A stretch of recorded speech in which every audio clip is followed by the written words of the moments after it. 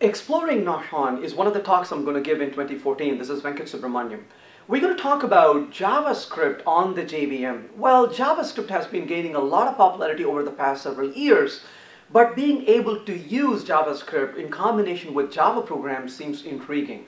Well, Nashorn is one of the tools that's been developed and languages and implementation that's been developed by Oracle and it runs on the JVM. So in this presentation, we'll deep, deep dive into Nashorn and take a look at what are some of the features, how do we go about using it, how can we integrate with Java code, all that stuff. So if JavaScript is something you're interested in as a Java programmer, this talk is for you.